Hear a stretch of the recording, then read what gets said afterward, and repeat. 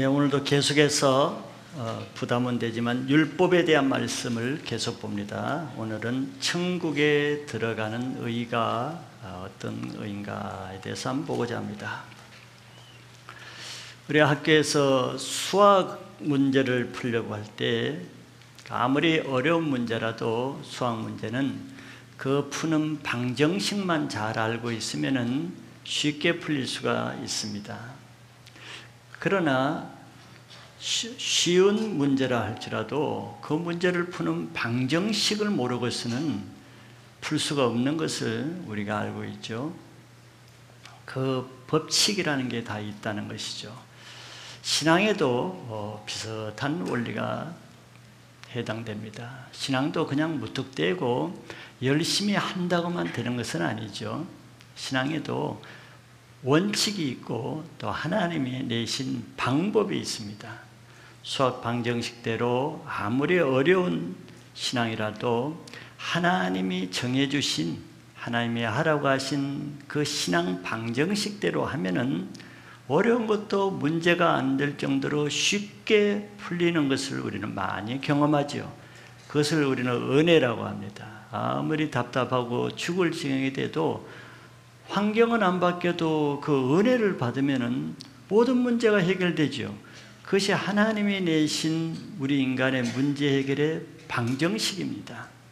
반대로 어떤 사람에는 굉장히 쉬운 문제, 뭐 별 문제 아닌 같은 걸 가지고도 그것 때문에 인생을 고민하고 땅이 무너지는 것처럼 인생을 포기하고 그냥 깊은 자기 문제에 빠져가지고 헤어나오지를 못하죠. 문제가 별것 아닌데도 그 문제를 해결하는 방법을 모르면 예, 그렇게 되는 것이죠. 그럼 우리 인간에게 가장 큰 문제가 무엇이겠습니까? 모든 인간이 공통적으로 풀지 않으면 안 되는 문제가 하나 있죠. 그것은 바로 죄 문제입니다.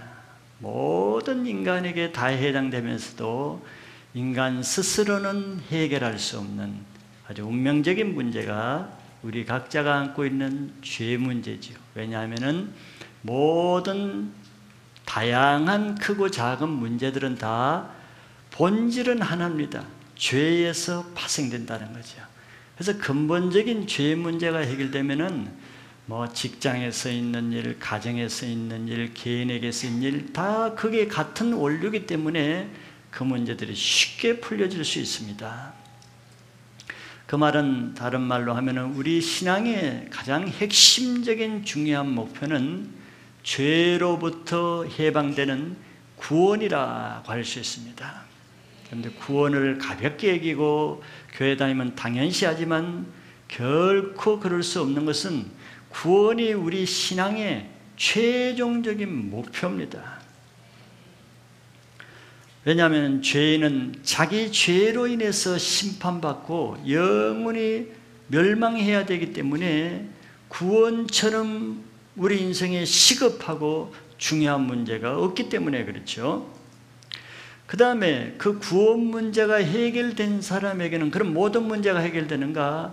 아니죠. 이 땅에 사는 동안에는 이미 구원받은 그리스도인이 또 해결해야 될 문제가 있다면은 그것은 바로 이제는 천국에 가서 받을 상급을 어떻게 잘 준비하고 예배하는가 그런 문제가 있습니다.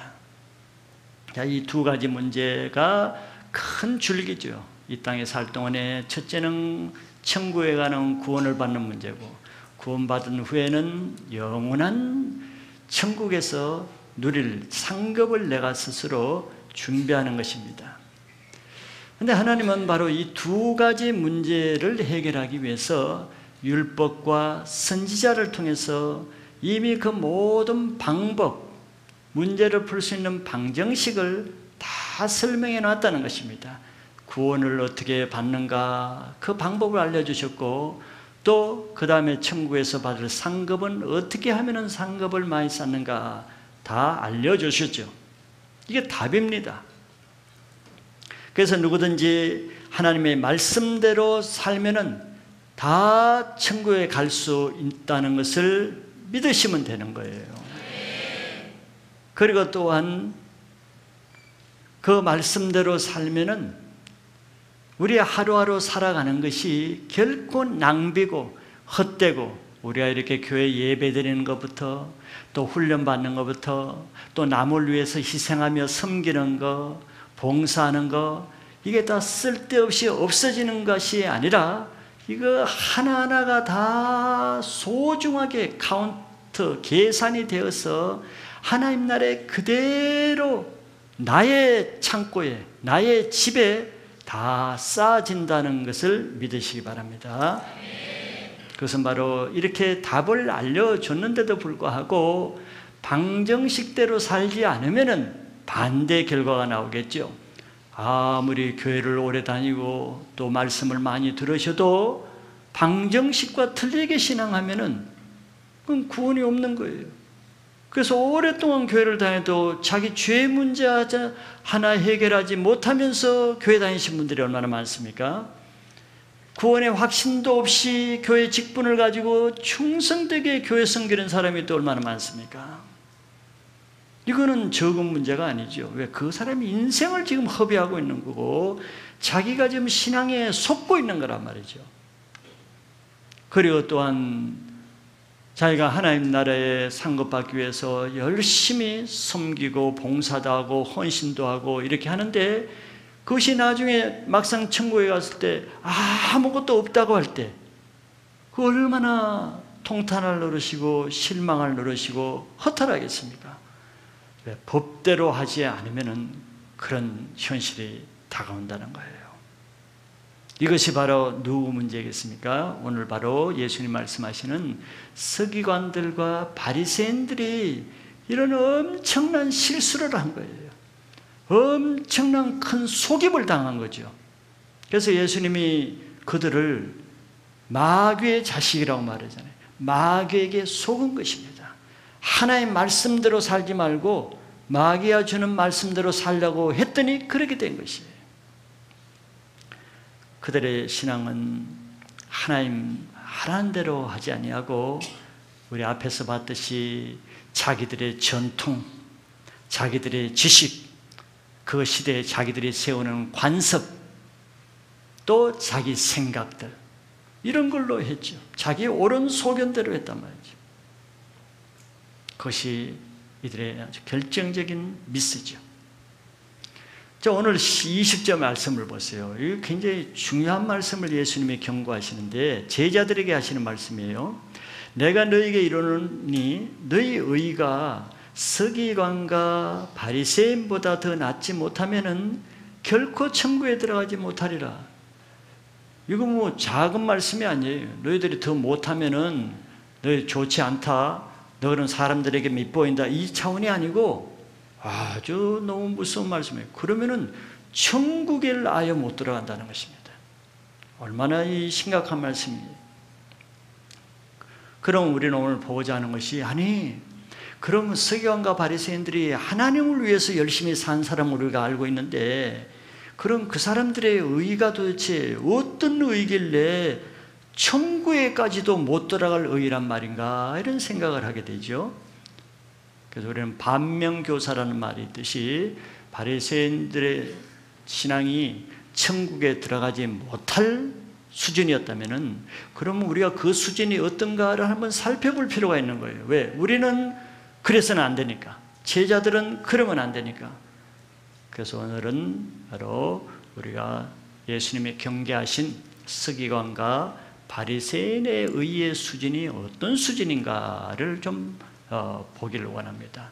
왜냐하면 그 다음에는 계속 21절부터 이 복음서에 계속 뭘 말씀하시냐면은 예수님은 계속 서기관과 바리새인들의 잘못된 의와 하나님이 바로 교정해 주신 의가 무엇인가를 계속 설명하고 있기 때문에 오늘은 그 서론격이에요. 이 서론을 잘 배워 들으시면은 다음부터 21절부터 내려가는 모든 복음서의 예수님 말씀이 잘 이해가 돼서 다 적용이 될 수 있습니다. 그래서 오늘 기본적인 바리새인들의 그것을 알고 그것을 따라 행하라는 것이 아니고 절대 그 수준을 쫓아가면 안 된다는 것을 아시길 바랍니다. 자, 그럼 먼저 예, 바리새인들과 서기관들의 의의는 첫째로 예수님 문제 삼은 것은 그들의 행하는 동기를 문제 삼았습니다. 그들의 그러면 이제 종교의 의의 동기가 무엇인가라는 보는 거죠. 그들이 물론 나쁜 일만 하는 것이 아니고 선한 일도 많이 했어요. 하나님이 하라는 건 율법을 지키려고 하고 착한 일, 선한 일, 또 사람에게 유익한 일 많이 했습니다. 예수님이 그걸 부인하는 게 아니에요. 예수님은 더 중요시한 것은 네가 무슨 일을 많이 했느냐, 어떻게 착한 일을 했느냐, 그것보다 예수님이 더 중요하게 얘기하는 게 뭐예요? 바로 네가 왜 그런 일을 했느냐 이거죠. 하나님이 이렇게 말씀하시잖아요. 사람은 외모를 보거니와 나 여호와는 그 중심을 감찰하신다 말씀하죠. 이게 하나님의 보시는 눈과 사람이 보는 관점의 차이입니다. 그래서 예수님은 이 바리새인들의 좋은 것을 보시면서도 그것만 보시는 것이 아니고 왜 저 사람들이 저걸 하는가 그 동기, 마음 중심을 보시는 거죠. 근데 예수님이 보시고는 다 실망을 하셨어요. 겉으로 하는 것은 너무너무 선하고 좋은데 그 속을 보니까 좀 나쁜 말로 현기증이 나는 거예요. 토할 것 같은 거죠. 그 마음에 하나님을 사랑하는 마음도 없고 하나님께 영광 돌리는 마음도 없고 하나님을 위해서 하는 것은 하나도 없어요. 엉뚱한 목적을 하는 거예요. 그것이 뭐겠어요? 사람에게 보이기 위해서는 사람에게 인정받기 위해서는 예수님은 이런 이중성을 다 보셨죠. 마태복음 23장 5절에 특별히 예수님이 한 절로 그 중심을 꿰뚫었습니다. 그들의 모든 행위를 사람에게 보이고자 하나니 곧 그 경문 띠를 넓게 하며 옷수를 길게 하고 모든 행위의 동기가 어디 있다 그랬냐면은 사람들에 보이기 위해서래. 하나님께 보이는 것이 아니에요. 옷을 하나 입어도 꼭 특별하게 막 이렇게 애를 넓게 한다든가 그냥 넥타이를 좀 특별하게 하든가 왜 사람에게 보이기 위해서 그렇게 한다는 거예요. 예수님은 하여튼 별걸 다 보시는 분이에요. 우리는 별로 뭐 어, 그런가 보다 하는데 예수님은 그 동기를 보시기 때문에 야, 저렇게 세밀하게 경문띠 넓게 한 걸 어떻게 그 아셨는지 모르겠어요. 두렵지 않아요? 예수님이 그 하나님이 나를 지금 보실 때도 여러분들 교회 오실 때 어떤 복장을 하고 계세요? 왜 그 복장을 하고 왔죠? 누구에게 보이기 위해서? 그걸 보신다니까요. 그들의 모든 행위는 사람들을 통해서 자기 영광을 받는 데 목적을 두는 거예요. 이와 같이 종교는 하나님보다 자기를 더 사랑하는 우상입니다. 우상이. 자기를 섬기는 종교가 종교예요. 하나님을 섬기는 게 아니고.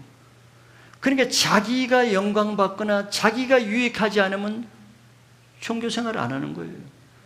교회 와서도 뭐 자기가 좀 안 드러나고 자기 뜻대로 안 되고 자기 생각대로 어, 하지 말라 그러고 그렇게 하면 안 된다 그러고 자기가 안 드러나면은 안 하는 거예요.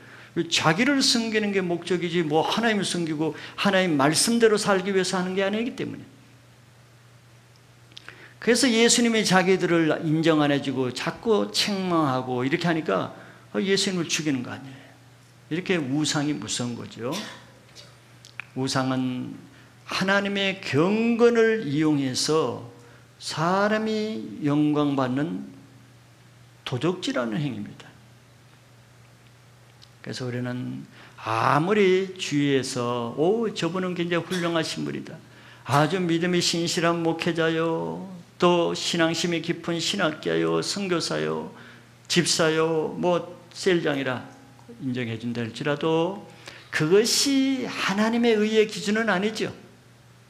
왜 우리가 천국 갈 때는 아, 이 교회에서 뭐 진짜 훌륭한 사람을 알고 성도들이 투표해가지고 가반수로 천국 가기로 합시다 해가지고 하는 건 아니잖아요.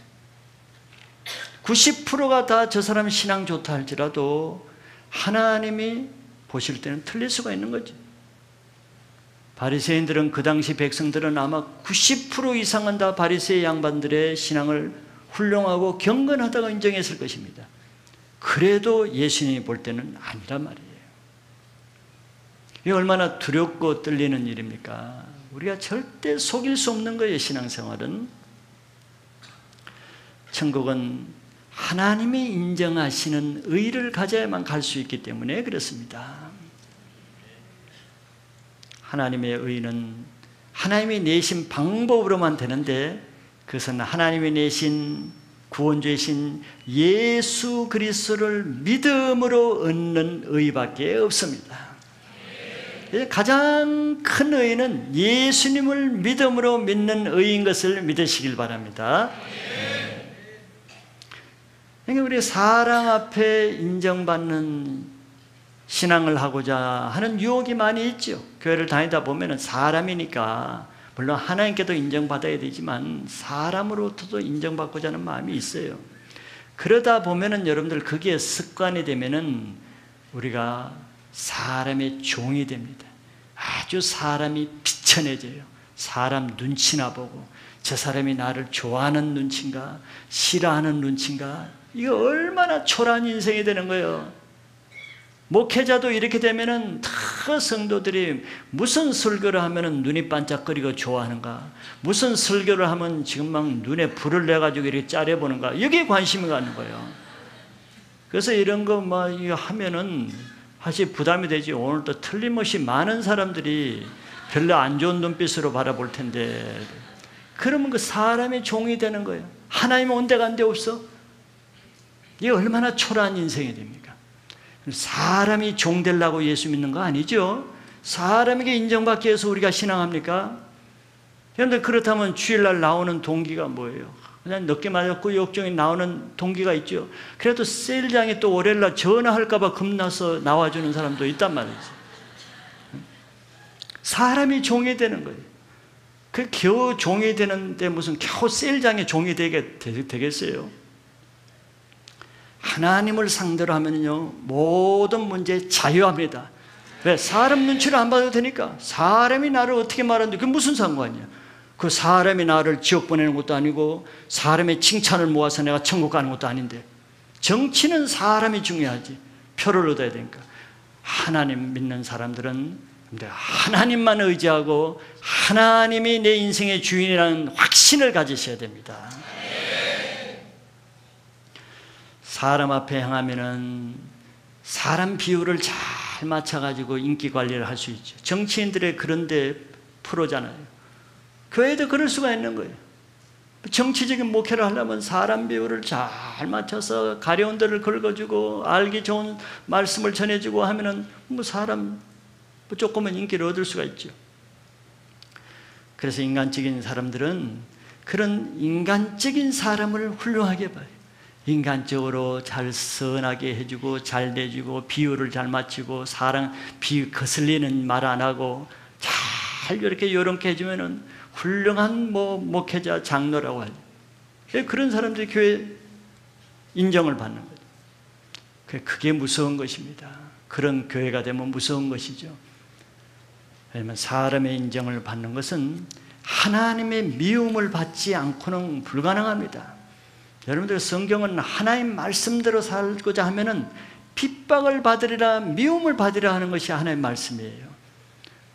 왜 하나님 말씀대로 이렇게 주일마다 말씀이 들려도 여러분들 직장이나 가정에 가서 왜 하나님 말씀대로 못 살죠? 사람 눈치가 무서우니까.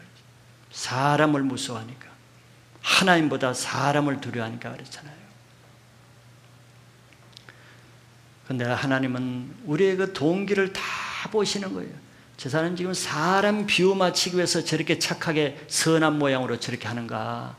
아니면 하나님을 위해서 사람에게 미움을 받기도 하고 고난과 불이익을 받으면서도 저렇게 억울한 일을 당하면서도 저렇게 하는가? 누가 보시겠어? 하나님 보신단 말이에요. 잠언서 2장 12절에 이런 말씀이 있습니다. 사람의 행위가 자기 보기에는 모두 정직하여도 여호와는 마음을 감찰하시니라 내가 사람에게 막 선행도 하고 잘 섬겨주고, 오, 나도 볼 때 좋고, 딴 사람도 다 보기에 정직하게 보이죠. 어이, 잘한다. 근데 하나님은 그 마음의 동기를 보는 거예요. 저 사람이 왜 저렇게 열심히 선하게 저런 일을 하는가? 이게 무서운 것이죠. 그래서 우리는 하나님 앞에 살 때 내가 무엇을 하려고 할 때 특별히 교회 안에서 여러분들이 예배 들어오는 동기가 무엇이고 봉사하는 동기가 무엇이고 특별히 선한 일을 행할 때는 더 그래야 됩니다. 내가 이런 선한 일을 하는 동기가 무엇인가? 왜? 하나님이 그 동기를 보시니까. 그래서 양심이 정결해야 되는 거예요.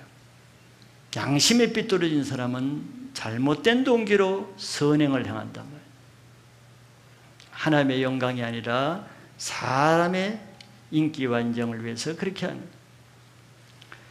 그래서 우리는 무엇을 하든지 아 이것이 하나님을 위한 일인가? 내가 하나님께 기쁨이 되기 위해서 하는 것인가? 여러분들 예배를 나와도 내가 하나님을 만나고 하나님이 감사해서 하나님을 기쁘기 위해서 예배를 드릴 수도 있고 그렇다면 하나님을 찬양하는 찬양 시간부터 나와서 하나님께 진심으로 마음으로 찬양할 거예요. 왜 예배 나오는 목적이 하나님을 기쁘시게 하는 동기라면 그럴 수밖에 없겠죠. 그러나 예배라는 행위를 위해서 나오는 사람은 하나님과 아무 상관없어요. 하나님과 관계없어. 하나님은 만나는 동기가 아니기 때문에. 자기가 예배를 해주는 것이죠. 그래서 여러분들은 자 예수님이 이런 바리새인의 차원을 넘어서지 못하면은 이런 수준보다 너희 의가 더 낫지 않으면은 결코 천국 못 간다는 거예요. 여러분들의 수준이 아직도 동기가 사람에게 보이기 위한 동기고 사람 눈치를 보고 사람을 위해서 사람에게 인정받기 위한 그런 수준으로 신앙도 열심히 하고 선행도 하고 예배도 오고 셀 모임도 참석합니까? 여러분 그 수준에 있으면 안 됩니다. 이제는 그런 인간적인 수준을 넘어서서 하나의 앞에 인정받는 의를 가질 수 있기를 바랍니다. 그럼 두 번째는 그럼 그 종교인들의 그렇게 할 때 그런 동기로 할 때 그들의 나타나는 의의 실제가 어떻게 나타나는가 뭐 수백 가지가 되지만 저는 여기서 한 두세 가지, 세 가지만 한번 보고자 합니다. 예수는 복음서에서 누누이 서기관과 바리새인들이 무슨 문제를 가지고 있는지를 알아듣게끔 얘기했어요. 좀 낯뜨거울 정도로 또 너무 구체적으로 얘기하시기도 했어요. 왜 그래도 못 알아들으니까. 또그 얘기는 예수님이 아니면 할 사람이 없어. 왜? 그걸 알 수도 없고 알아도 겁이 나서 말할 수가 없어. 예수님만 그들에게 그런 바른 말을 하실 수가 있는 거죠. 그 첫째로 예수님은 그들의 의가 무슨 의냐 하면은 사람의 인정과 칭찬받는 수준의 의라고 그렇게 보셨습니다. 그래서 예수님은 제자들에게 너희들은 그 서기관들이 하는 행동을 조심하라 그래서 절대 그 따라하면 안 된다는 삼가라 그랬습니다. 마가복음 12장 38절 39절에 보시면은 예수님이 이렇게 말씀했습니다. 예수께서 가르치실 때 이르시되 긴 옷을 입고 다니는 것과 시장에서 문안받는 것과 회당의 높은 자리와 잔치의 윗자리를 원하는 서기관들을 삼가라 삼가라는 것은 조심하라는 거예요. 여기 핵심 단어 몇 가지가 나오는데 여러분 숨은 단어 찾을 수 있겠어요? 세 가지. 특별히 장소에 관한 단어가 몇 개 나와요. 세 가지 나오죠. 첫째, 시장. 둘째, 회당. 셋째, 잔치집에. 아, 여러분들 영성이 뛰어나시네요. 네. 자, 이들은 사람의 인정에 목말라 하는 모습을 예수님이 보신 거예요. 사람의 인정에 아주 목말라 있는 그 모습을 보셨습니다. 그러니까 이렇게 사람의 인정과 칭찬에 집착하는 사람들은요, 그런데 영적으로는 중환자실에 가야 되는 아주 중병 환자입니다. 이건 정말이에요. 바리새인과 세이와는 이 중병에 걸린 거예요.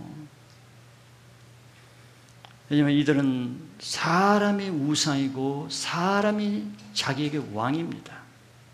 하나님이 자기 인생을 다스리게 하지 않고 사람이 자기 영혼을 컨트롤하게 맡기는 거예요. 그래서 사람의 평가가 자기 존재 가치를 결정하는 이게 얼마나 위험하겠습니까?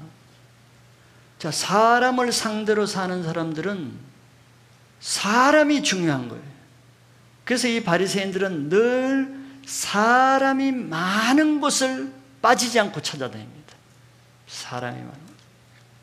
그중 하나가 첫째가 예수님 보셨던데 이 사람들 어디를 잘 가나 봤더니 시장을 잘 가는 거예요. 시장. 시장이 사람 많이 다니는 것이죠. 근데 가만 보니까 이 사람들이 시장에 오는데 무슨 장바구니를 가져오는 것이 아니라 아무것도 안 가지고 뭐 장보기 위해서 오는 게 아니에요. 가만 봤더니 이 사람들이 시장 올 때 긴 옷을 입고 오는 거예요. 참 희한하다. 장 보러 오는데 저 긴 옷이 뭐, 무슨 옷인가 하면은 회당에서 그 예식을 행할 때 입는 옷이에요. 오늘도 이거 가운 입죠, 목회자들이. 그 옷이란 말이죠. 그 긴 옷을 입고 어딜 가는가 봤더니 시장을 가는 거예요. 아니, 목회자가 여기서 가운 입고 저 마트 앞에 입구에 딱 서 있으면 그거 뭐 하는 거예요, 지금? 하시면 속 보이는 행동을 그렇게 하지. 좀 모르게 이렇게 은밀하게 해야 되는데 너무 드러나게 하니까 예수님 금방 아셨죠. 그리고 가서 가만 보니까 뭐 시장 장 보는 것도 아니야. 장도 안 보고 오기에 가만히 서 있는 거예요. 얼마나 사람의 인정만 돼 목말랐으면 이렇게까지 하겠습니까? 뭘 위해서 섰다 그랬어요? 시장에서 문안받기 위해서 시장 앞에 서 있는 거예요. 사람들에게 자기 가운을 입고 기윈 옷을 입고 지나가는 사람마다 바리새인 양반 선생님 안녕하세요. 훌륭하십니다. 이 인사받기 위해서 서 있다는 거예요. 장 볼 일도 없는데.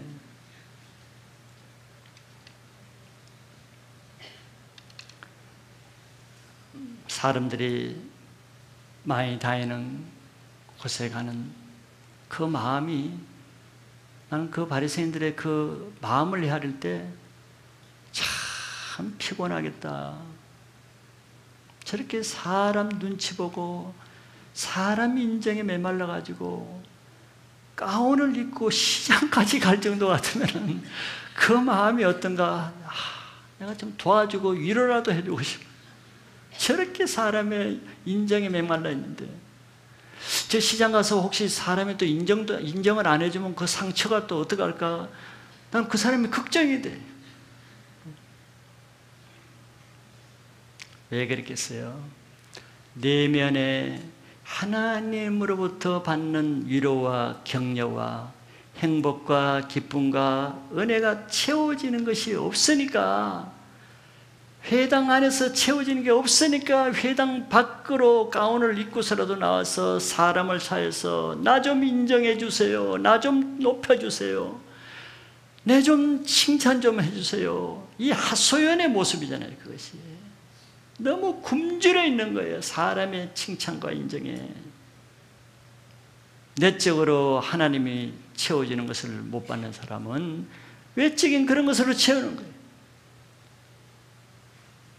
여러분들이 예배를 드리러 교회 오셨어도 예배를 통해서 정말 하나님 것으로 채워지면은 그냥 교회를 떠나고 싶지 않지요. 산지정복 했다가 산지정복 끝나고 뭐 또 없어요. 채워지니까. 근데 채워지는 게 없으니까 막 한 시간 동안 밥도 못 먹고 이게 앉아있으니까 얼마나 굶주리겠어요. 그러니까 축도하기 전에라도 빨리 나가지고 뭐 큰일 있는가 봤더니 집에 가서 이제 누룽지 찾아 먹고 TV 보고 뭐안 채워졌으니까 배가 고픈 거야. 그래서 시컷 TV에서 나오는 걸로 채워. 또 인터넷 뒤져서 오락을 쳐. 그래서 안 튀고 또 밖에 나가서 친구 만나고 또 커피 마시고. 참 위로가 많이 필요한 사람이지. 얼마나 안 채워지면 예배 잘 한 시간 드리고 나서도 그렇게 목말라 하겠습니까? 이게 바로 예수님이 보신 종교인들의 모습이에요. 열등감이 많은 사람일수록 그렇게 사람의 인정에 목마르게 되죠. 어릴 때부터 부모에게도 인정받지 못하고 학교 다닐 때 선생님에게도 인정받지 못하고 친구에게도 인정받지 못하고 다 평생을 굶주려 있어 사람의 인정에 인정받을 기회만 있으면 인정받으려고 그러는데 그게 잘 안 되니까 그런 사람은 교회에 와서 종교성으로라도 인정받으려고 그러는. 그래서 그런 사람에게 어떤 지위나 권력이 주어지면은 그것이 큰 감투처럼 여겨집니다. 그런 적이 없었는데 이제 그 감투가 주어지니까 그것으로 사람에게 이제 인정받고자 하고 그것으로 사람을 조종하려고 해서 자기가 높임받는 도구로 쓰이려고 그러는 그래서 권력이 나쁜 도구로 쓰인 경우가 너무 많은 경우는 이 사람의 죄성 때문에 그런 거죠. 그래서 많은 독재를 하는 사람이라든가 이 독재자는 실제로 겉으로 보기와 다르게 속으로 굉장히 허약한 열등감에 시달린 사람이 그런 일을 많이 하는 것이죠. 그래서 사람의 종이 됩니다. 왜 하나님의 자녀가 하나님의 종이 왜 이렇게 스스로 초라하게 사람의 종이 되려고 합니까? 사람에게 비굴 하는 것은 스스로 사람에게 자기 영혼을 속박시키는 겁니다. 사람이 무슨 말을 하더라도 내가 하나님 말씀에 움직일 수 있는 사람은 하나님의 종인 것이죠. 두 번째로 그 사람들이 또 어디를 가면 회당을 말했죠. 회당은 또 사람들이 많이 뭐 공식적으로 사람들이 모이는 곳이. 근데 이 사람들이 또 회당에 회당은 안식일 날 특별히 예배를 드리는 것이 회당이잖아요. 회당에 가는 목적도 이 사람들은 좀 달라. 예수님이 보신 거죠. 가서 하나님을 만나고 찬양을 하고 기도를 하고 하나님 봉사를 하고 헌신을 하는 이게 뭐 회당에서 예배드리는 본 목적 아니겠어요? 근데 이 바리새인들과 서기관들은 이것도 아니야. 보니까 회당에 가자마자 뭐에 관심을 두냐니까 저기 회당의 높은 자리에 관심을 갖는 거야. 높은 자리. 높은 자리에 왜 관심을 갖겠어요? 하나 앞에 높아지기 위해서 사람의 또 거기서도 교회 안에서도 사람의 인정을 갖겠어요. 그래서 높은 자리를 마련해 잡고 그 강단에 의자가 많이 있는 이유가 뭐겠습니까? 많이 앉기를 원하는 사람이 많이 있다는 것이죠. 바리새인들은 예배 와서 예배 드리는 것보다 더 중요한 것은 좀 높은 자리에 자기 앉아 있는 거죠. 그거 앉기 위해서. 그거 앉기 위해서 집사도 되려 그러고 장로도 되려 그러고 목회자 되려 그러고 선교사 되려 그러는 동기를 예수님 보셨겠죠. 그렇죠. 예배의 목적이 뭔지 높은 자리에 앉기 위해서.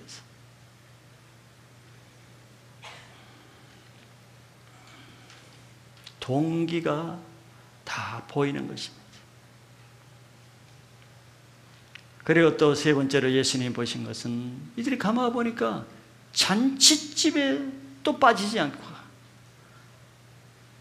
뭐 거기 또 맛있는 음식 먹기 위해서 가는가 보다 대부분 백성들은 그러는데 이 사람들은 또 그것도 아니야. 그보다 더 중요한 것이 있어. 거기서 또 윗자리에 앉기 위해서. 거기서 또 사람에게 인정받기 위해서. 사람에게 인정받을 좋은 기회가 있으면 빠지지 않고 찾아다니는 거죠. 그래서 잔치집에 가서도 신랑 신부를 격려하고 그 가족들을 기쁘게 하는 데 목적이 있는 것이 아니고 뭐에 신경 쓰느냐면 내 자리가 어딘가 자리 쟁탈에 또 신경전을 벌입니다. 서로 높은 자리에. 하여튼 높아지는데 이 병적인 반응을 보이는 거죠. 교회에서도 사람들이 좀 자기를 높여주지 않고 인정해주지 않고 뭐 동역자나 셀장으로 안 세워지면은 어서 자기 인정받을 곳을 찾아다니는 생각을 하죠. 또 다른 사람이 많은 곳을 찾아다니죠. 이런 사람 늘 어디를 가더라도 인간관계가 좋겠습니까? 사람을 경쟁 상대로 보는데 내가 좋은 자리에 앉는 그것을 원하는 사람은 다른 사람을 험담하고 밀어내고 낮추고 욕하고 판단해서 자기가 좋은 자리 찾으려고 하는 거 아니에요. 그냥 그 입에서 늘 남을 비평하고 판단하고 욕하고 이럴 수밖에 없는 거죠. 자기가 높임 받으려면. 자, 이들의 이 모든 신앙의 기준은 믿음이 좋은 그 기준은 얼마만큼 어떤 사람이 사람에게 인정을 받고 존경을 받는가 이 기준인 것이. 이렇게 사람의 인정을 받으면은 그 사람은 성경적으로는 사단의 올무에 빠진다 그랬습니다. 자, 우리는 이런 의 수준에서 교회를 다니면 안 된다는 거예요. 예수님. 제자들, 너희들은 결코 이렇게 하면 안 된다는 거죠. 이 수준에 머무르면 안 된다는 것입니다. 너희들이 지금 누구 인정으로 무슨 직분을 가지고 있는가 보라. 하나님께 인정받아서 그 직분을 가지고 있는지 사람들에게 내가 잘 보이고 사람들에게 인정받아서 그 직분을 가지고 있는지 한번 볼 필요가 있죠. 우리는 오직 은밀한 중에 보시는 하나님을 상대로 하면은 사람이 인정해 주든 인정 안 해 주든 사람이 보든 안 보든 사람이 알아주든 안 알아주든 그 상관없습니다. 내가 하나 앞에 중심으로 할 일만 하는 것이죠. 사람이 이미 알아주고 칭찬하는 것은 마태복음 6장에 보면 이미 세상에서 상급 다 받아버리니까 하나 앞에는 남는 게 없어요. 그러나 아무도 모르는 가운데 하나님만 아시는 거 그것만 아는 것입니다. 마태복음 25장에 예수님이 그런 설명을 하잖아요. 마지막 때 염소와 양을 나누면서 오 네가 나한테 정말 내가 목마를 때 네가 마실 걸 주었고 옥에 갇혔을 때 네가 찾아봤다. 줄일 때 먹을 걸 줬다. 기억을 안 하는 거예요. 제가 사람에게 인정받기 위해서 그렇게 한 적이 없는 거죠. 어, 나 그런 일 안 했는데요. 한 일 없습니다. 네가 그때 가난한 자에게 그렇게 한 것이고 옥에가 그렇게 한 것이 나한테 이 사람은 전혀 사람에게 칭찬받거나 사람을 의시하고 한 게 아니라는 것이죠. 주님이 그런 사람을 인정한다는 거예요. 그런 사람만이 나에게 한 것이라는 거죠. 인생 똑같이 살면서 똑같이 신앙생활 하면서 헛수고할 필요가 없잖아요. 헛고생할 필요가 없지 않습니까? 무슨 일을 할 때 여러분들 사람 생각하지 마세요. 사람이 나에게 무슨 말을 하든지 그거 생각하지 마. 좋은 말을 하든지 나를 비난하는 말든지 사람 말 하지 마세요. 왜? 내가 착한 게 하나 앞에 살면은 악한 사람은 나를 비난할 것이고 똑같은 일을 해도 착한 사람은 나를 인정할 것이. 사람 말 그거는 아무 평가 기준이 되지 않습니다. 그러나 내 양심이 항상 내가 하는 동기를 통해서 내가 하나님을 사랑해서 내가 하나님 앞에 살기 위해서 사람이 뭐라 그러든 내가 하는 거 하나님이 보시는 겁니다. 그런 의가 되어야 여러분들 바리새인의 의 수준을 넘어서는 것이에요. 두 번째는 바리새인의 의는 외식하는 의라 그랬습니다. 이중성이죠. 마태복음 23장 25, 28절에 보면은 화 있을진저 외식하는 서기관들과 바리새인들이여 장과 대접에 겉성 깨끗이 하되 그 안에는 탐욕과 방탕으로 가득하게 하는도다. 이와 같이 너희도 겉으로는 사람에게 옳게 보이되 안으로는 외식과 불법이 가득하도다. 우리가 바리새인들 말할 때는 특징적인 게 외식이죠. 외식. 외식은 어, 한자지만 어, 원래 뜻은 배우라는 뜻이 연극 배우. 즉 외식을 잘한다는 것은 그 배우의 역할을 아주 잘 감당한다 이런 뜻이에요. 연극 배우는 내가 굉장히 가난한 사람이지만서도 나에게 재벌의 역할을 맡겨주면은 내가 아주 재벌처럼 아주 멋있게 해낼 수가 있죠. 그럼 그 연극을 하고 나서 사람들이 무대에 내려오면은 내가 재벌이나 된 것처럼 봐줘요. 어, 어떻게 그렇게 익숙하게 재벌처럼 재벌 연기를 그렇게 잘하십니까? 이렇게 말하죠. 사실 나는 가난한데 또 굉장히 믿음도 없고 악한 사람에게 예수님의 연기를 역할을 맡겨준다. 그럼 그 사람이 그 외식을 할 때는 그 연기를 아주 겸손하게 사랑이 많고 인자하게 부드럽게 아주 역할을 잘 해낼 수가 있어요. 그런 사람들이 내려오면 아 어떻게 그래 인자하세요. 너무 잘하셨어요. 속은 그렇지 않으면서도 이게 외식입니다. 외식은 실제와 나타나는 것이 다른 것이죠. 그 사람이 말하는 것하고 실제 행동이 다르고 그 사람이 성경 말씀을 아는 것하고 실제 그 인격이 전혀 딴판인 이것을 외식이라고 말하죠.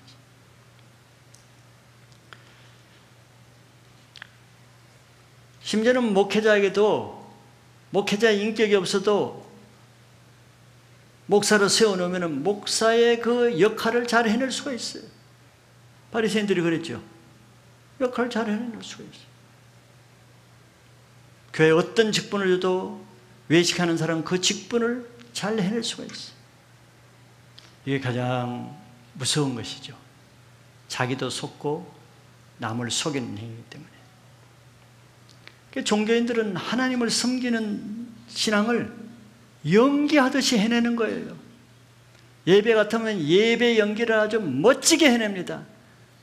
찬양을 하면, 오, 찬양 맡겨줘봐요. 내가 찬양하는 연기를 멋지게 해내는 것이죠. 뭐 봉사하는 거 맡겨줘봐요. 봉사 아주 은혜롭게 경건의 모양을 다 동원해서 멋지게 해낼 수 있어요. 그게 서기관과 바리새인들이 그렇게 멋있게 해냈다. 왜? 모든 백성들이 그들이 다 경건하게 다 봤기 때문에.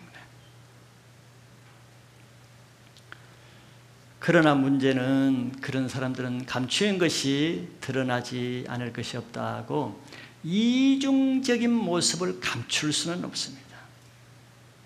한두 번은 감출 수 있지만 왜냐하면 그들은 사람 앞에 외식하기 때문에 사람이 있는 곳에서는 아주 경건하게 해도 사람이 안 보는 곳에서는 전혀 딴 자기 모습이 나타나게 되기 때문에 그렇죠. 사람이 안 보는 데서는 양심을 속이고 더러운지 거짓된지 음란한 짓을 하면서도 사람 보는 데는 가장 거룩한 모습으로 나타날 수가 있죠. 그래서 그런 사람들은 그런 행동을 하는데 뭘로 알 수 있겠어요? 예수님 말씀에 그 열매로 알 수 있다. 열매로. 그 인격은 안 변하는 거예요. 인격이 안 변하는 게 이상하잖아요. 행동은 다 경건한 모습을 하는데 왜 인격이 안 변하겠어요? 인격으로 하지 않고 외식으로 하니까 그렇지.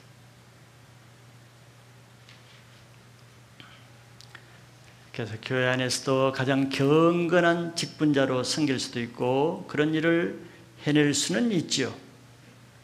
그러나 어디서 숨길 수 없겠습니까? 바로 자기가 사는 가정과 또 직장에서는 숨겨지지 않습니다. 주일날 경건하게 예배를 드리고 봉사를 하고 다른 사람을 섬기는 하고 외식하는 사람은 집에 가서는 전혀 딴 모습이 되겠죠. 온갖 혈기를 부리고 가자마자 그냥 세상 것 TV를 보고 교회 하는 거하고 완전히 다른 모습. 교회 왔다가 집에 가면 요 가면을 딱 벗었는 것 같이. 그걸 누가 알겠어요? 자기 남편과 아내, 자기 자녀들과 그 가족들이 잘 알겠죠. 그래서 신앙의 실제는 교회 안에 와서 하는 모습이 아니고 그 사람의 실제 신앙을 검증하려면 그 아내와 남편에게 물어보면 돼요. 자녀들에게 물어보면 그게 사실입니다. 말하는 것부터 생각하는 것부터 가정에서는 숨겨지지 않습니다. 그게 그 사람의 실제죠. 진실된 신앙은 교회 생활과 가정 생활, 교회 생활과 직장 생활이 그 사람이 그 사람인 사람이 조금 부족하더라도 그 사람이 건강한 신앙입니다.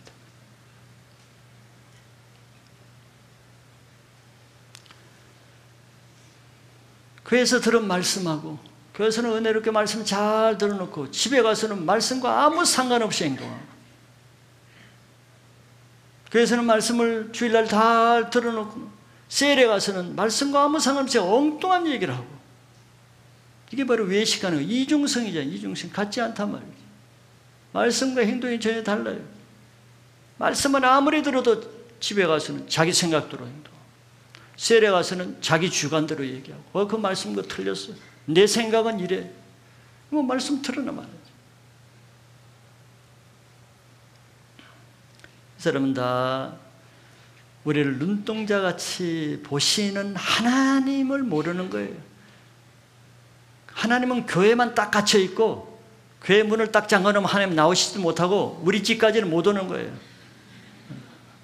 우리 직장까지는 못 따라오시는 거지. 그러니까 교회만 나오면 해방이지. 자유롭지.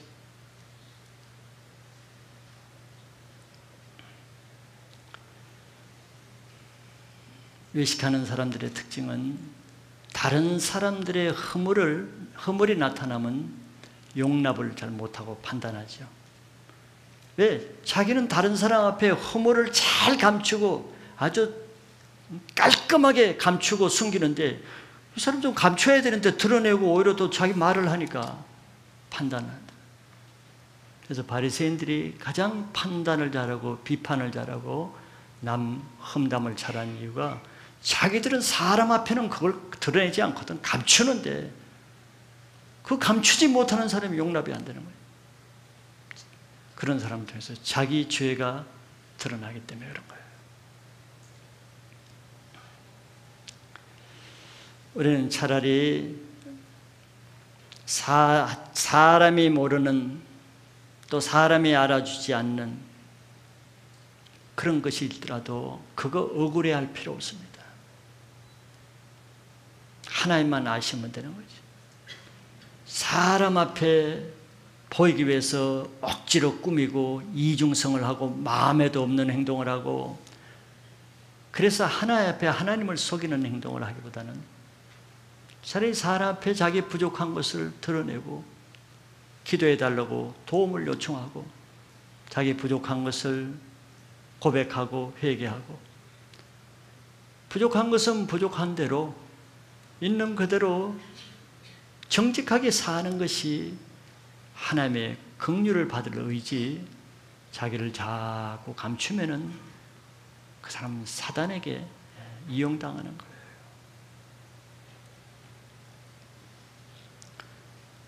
우리들의 신앙생활에서 여러분들 교회 생활과 교회 직분과 가정에서의 내 생활의 갭이 뭐 완전히 같아지기는 어렵더라도 어느 정도 차이가 나는가를 생각해 보고 내가 직장에서 과연 하나님 말씀대로 행하는지 직장 생활 따로 교회 생활 따로 하는지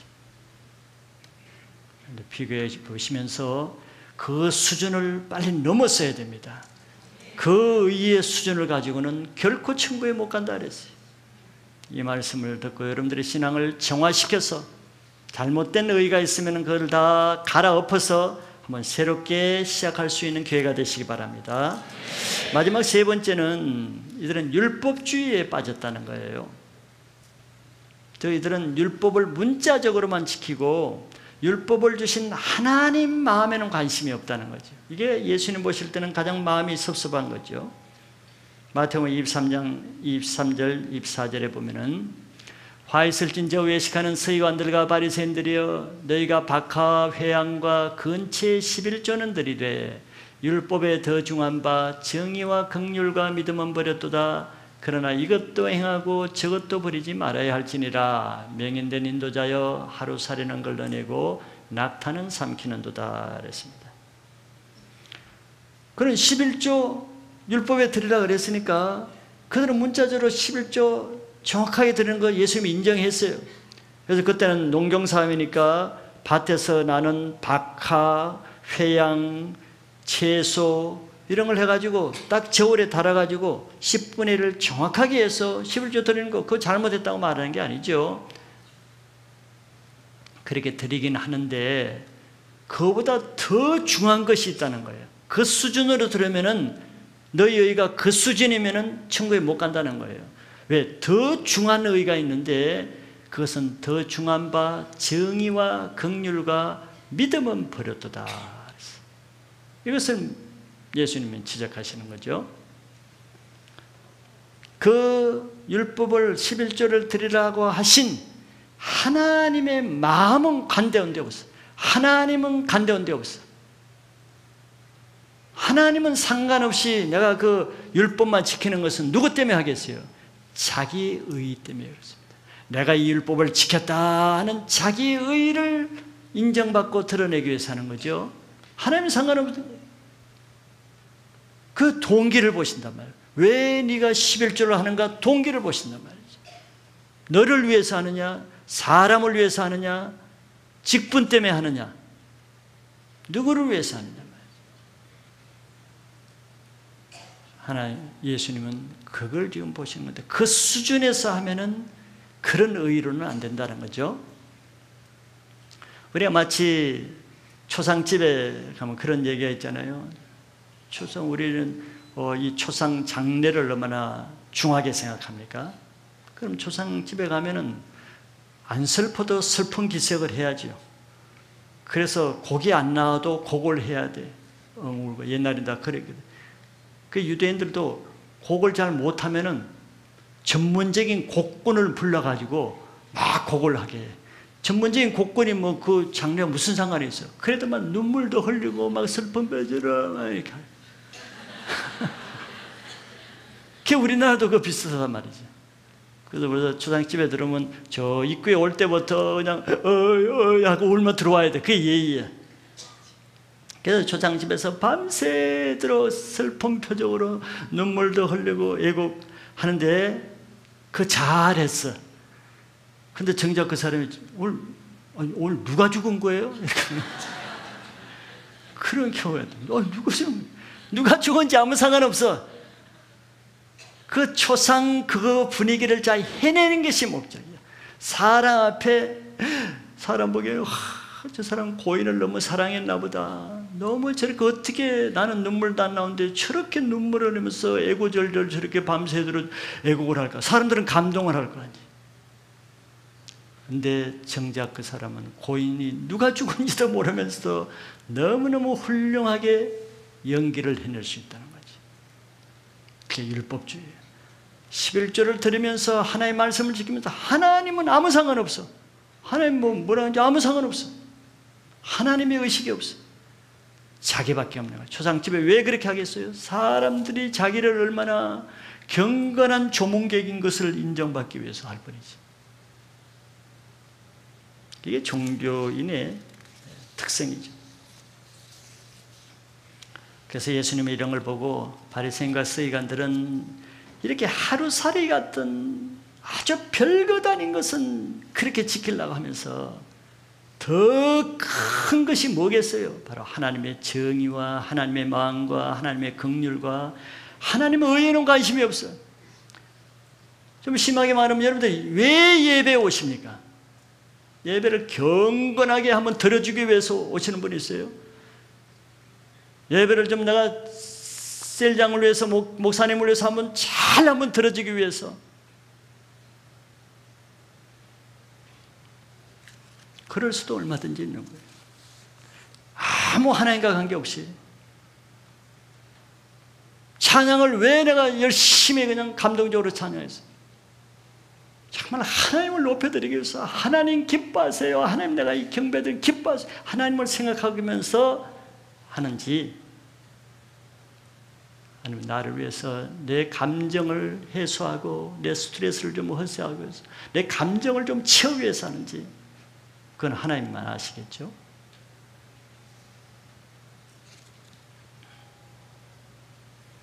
그래서 종교인들은 하나님을 믿지도 않으면서 하나님 일을 하고 하나님을 사랑하지도 않으면서 하나님을 섬기는 일을 하는 이런 모순점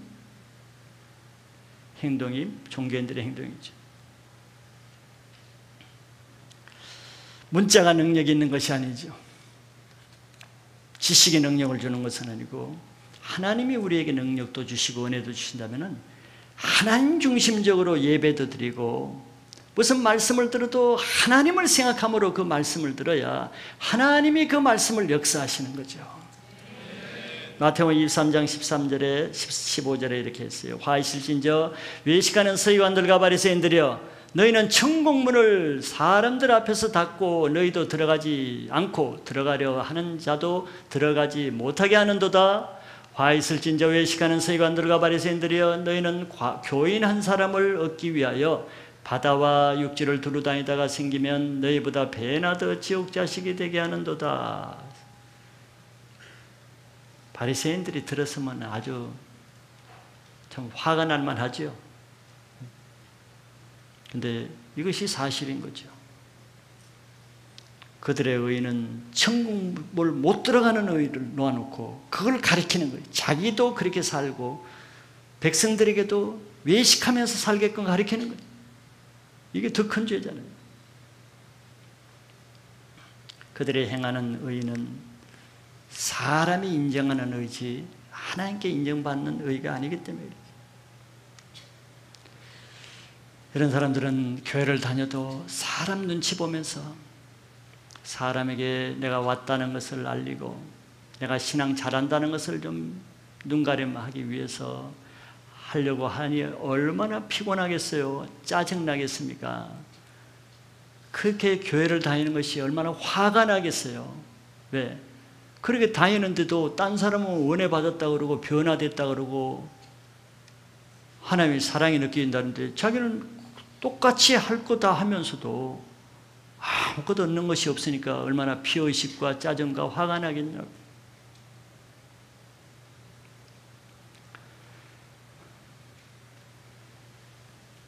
과거 바리새인 중에 바리새인으로 살았던 사도 바울이 자기가 변화되고 나서 바리새인의 의에 대해서 한번 정, 정언을 냈습니다. 내가 증인이다. 내가 과연 과, 거에 바리새인 중에 바리새인이다. 내가 바리새인의 의에 대해서 증언한다. 그러면서 로마서 10장 2절 3절에 이렇게 정언을 냈습니다. 내가 정언하노니 그들이 하나님께 열심히 있으나 올바른 지식을 따른 것이 아니니라. 하나님의 의를 모르고 자기 의를 세우려고 힘써 하나님의 의에 복종치 아니하였느니라. 이제 깨달은 거예요. 바울이 성령을 받고 나니까 그전엔 자기 의가 가장 율법의 바른 의로 생각하고 그렇게 했는데 그렇게 자기 의대로 살면 살수록 그 3절에 보면 어떤 결과라 그랬어요. 하나님의 의를 모르고 3절 자기 의를 세우려고 힘써 하나님의 의에 복종치 않는 하나님의 의를 거꾸로 사는 종교 생활이었다는 거예요. 자기는 하나님을 위해서 열심히 살았는데 하나님 편에 보면은 하나님 의에 복종치 아니하는 삶을 살았다. 이 증언을 하는 거예요. 증인으로 나왔어. 이게 종교 생활들이 종교인들이 나중에 막 하나님 나라 가서는 하늘에 가지도 못하죠. 못하지만 심판대 앞에서 땅을 치며 통독할 일이니까.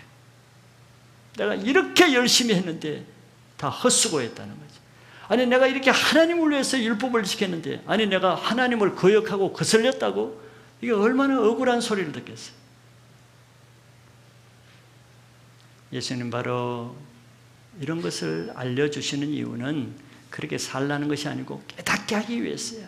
더 이상 희생자가 없게 하기 위해서 더구나 제자들에게는 절대 바리새인과 스기관처럼 살면 안 된다는 것을 경각심을 주어서 그보다 더 큰 의를 가지라고 주시는 거지 바리새인들이 그대로 살다가 그냥 멸망하라 이것이 아니죠. 그들에게 변화될 기회를 주시는 것입니다. 결론적으로 오늘 말씀을 통해서 저와 여러분들 가운데 있는 의가 교회로 오래 지금 다니신다면 무슨 의인가를 한번 체크해 볼 필요가 있죠. 내가 10년, 20년 다니는 거 그것 그냥 자동적으로 생각 없이 아 나는 바르게 어, 할 것이다. 이게 바리새인들의 생각인데 그렇게 하면 자기를 못 봅니다. 이런 말씀이 주어질 때 그러면 나는 어떤 의의를 가지고 있는가? 과연 내가 지금 하나 앞에 선다 그러면은 오늘 오늘이라도 내가 하나 앞에 선다면 과연 하나님이 내 중심을 보시고 오 착하고 충성된 종아 네가 사람에게는 인정 못 받고 많은 멸시와 어려움을 받았지만 네가 잘했다 이런 말을 들을 의인지 그래 나는 너를 잘한다. 네가 그래 어떤 교회에서 무슨 직분도 받고 사람들이 너 신앙을 다 좋게 평가하고 네가 칭찬 많이 받고 세상에서 높임 받았지. 그러나 얘야 나는 너를 내가 봐왔다. 너 속은 아니다. 여러분들 그런 말을 들을 때는 이거 엄청난 엄청난 재앙 아니겠어요? 그때 가서 후회받자 소용없기 때문에 이런 말씀을 듣는 지금 내가 겸손하게 양심적으로 하나 앞에 내 신앙을 다시 한번 점검해 보시는 기회가 되시길 바래요. 그래서 하나님이 인정하지 않을 그 껍데기 같은 사람에게 내가 목말라서 그렇게 살았던 사람 종로를 탄 거 이제 여러분들 청산하시기 바랍니다. 사람 두려워할 필요 없어요. 하나님이 우리 주님이시고 하나님이 내 의를 알아주시면은 잠시 후에 그 시시비비가 다 가려질 텐데 누가 잘못하고 누가 잘했는지를 가려질 텐데 그 잠시 동안 억울한 누명을 쓴다고 해서 아무 상관없어. 그거 목말라 가지고 살다가 하나 앞에 화 있을진저 책망받는 인생이 되지 않고 하나님 앞에 인정받는 신앙을 할 수 있는 지혜로운 선택을 하시기를 축복합니다.